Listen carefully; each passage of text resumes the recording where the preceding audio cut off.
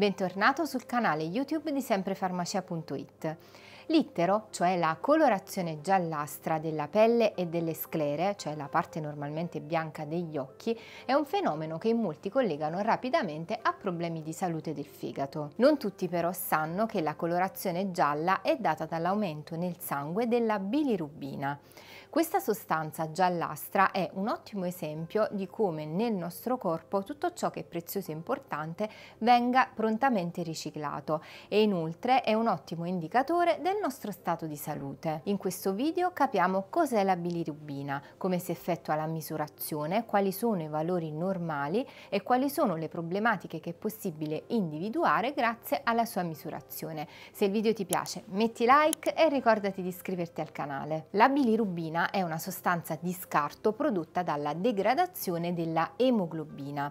Di questa molecola e della sua importanza per il trasporto dell'ossigeno abbiamo già parlato in questo video dedicato alla carenza di ferro. Proprio perché il ferro è così importante per il nostro organismo, quando i globuli rossi terminano il loro ciclo vitale che di solito è di circa 120 giorni, vengono praticamente smantellati e riciclati all'interno della milza. Dal gruppo M del dell'emoglobina viene recuperato il ferro e la sostanza di scarto che ne deriva è la bilirubina indiretta o libera. Non essendo solubile in acqua, la bilirubina indiretta per viaggiare nel sangue deve essere legata ad una proteina, l'albumina.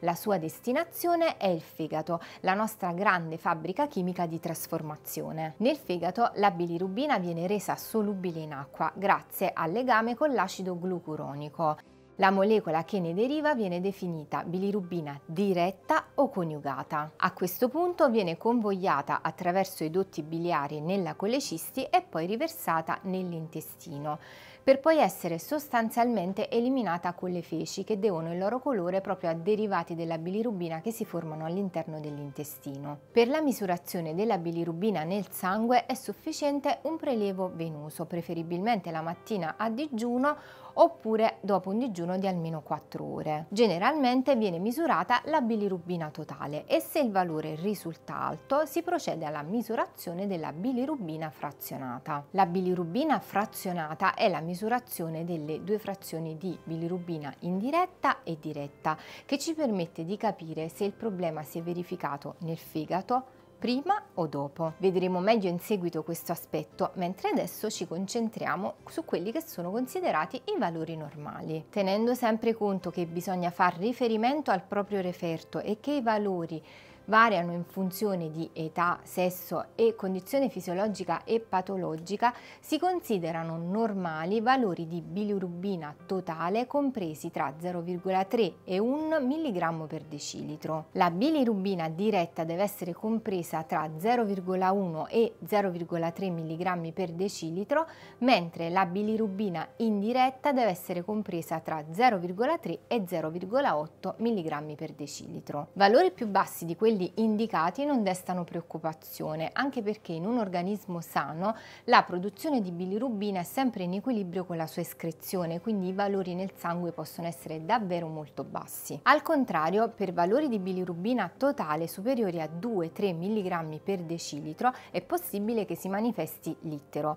mentre per valori via via superiori si può andare incontro ad una intossicazione generalizzata e a morte. Quando si riscontrano valori di bilirubina totale totale alti è importante, come già accennato, procedere alla misurazione di bilirubina diretta e indiretta per capire dove si è rotto l'equilibrio. Non è detto infatti che il problema sia il fegato oppure solo il fegato. Se ad essere aumentata fosse la bilirubina indiretta potrebbe esserci un problema che riguarda l'eccessiva distruzione dei globuli rossi. Se invece ad essere aumentata fosse la bilirubina diretta il problema potrebbe essere nelle vie biliari. Facciamo una rapida e schematica panoramica che ovviamente non ha la presunzione di voler essere esaustiva di un argomento tanto complicato. Livelli elevati di bilirubina indiretta possono indicare cirrosi epatica, quindi una vera e propria degenerazione del fegato con perdita delle sue funzioni che può avere varie cause tra cui l'alcolismo ma anche infezioni. Sindrome di Gilbert, una patologia benigna del fegato in cui per un deficit enzimatico si ha un rallentamento della trasformazione della bilirubina da indiretta a diretta. Normalmente è asintomatica, mentre in alcune condizioni di stress come malattia, digiuno o esercizio fisico intenso possono manifestarsi ittero, stanchezza e dolore addominale, anemia emolitica o reazione alle trasfusioni, cioè in quei casi in cui si ha un'eccessiva distruzione di globuli rossi. Ittero neonatale, una condizione fisiologica tipica dei neonati dopo le prime 24 ore di vita e che generalmente si risolve spontaneamente entro i primi 10 giorni. I livelli elevati di bilirubina indiretta in questo caso sono dovuti alla distruzione dei globuli rossi in eccesso alla nascita.